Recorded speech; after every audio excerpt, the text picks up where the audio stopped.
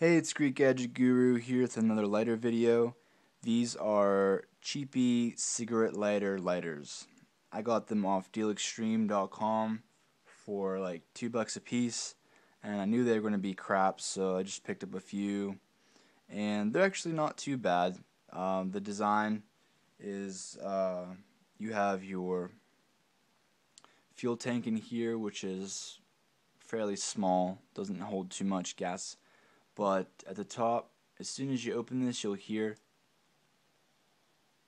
the fissure, the sound of the gas releasing, and then there's a striker wheel, which, you know, the gas is really turned up high on this thing. It really shouldn't be that high. But you understand how, how it works. And see, that would be a, a more practical size flame.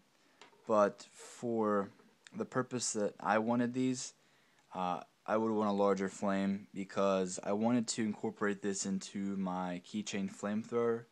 If you watch that video, you'll see I used a really crude um, lighter with a little candle almost type of thing and a Bic lighter striker wheel with a flint and it worked but it wasn't that impressive and it looked kind of cheesy so I was planning on using this and kind of having the canister of the lighter canister on top so that I could do this, I could light it, and then the flame would pass through here and ignite the rest of the butane that creates the large flame that you saw in the video before. So that's really where my idea came for buying these.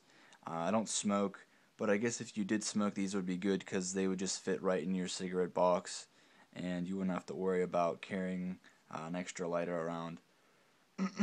so, there's not really a name for these.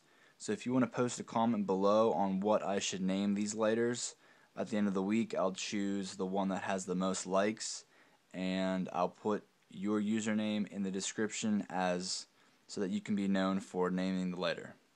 So, thanks for watching. Check out my Facebook and have a good one.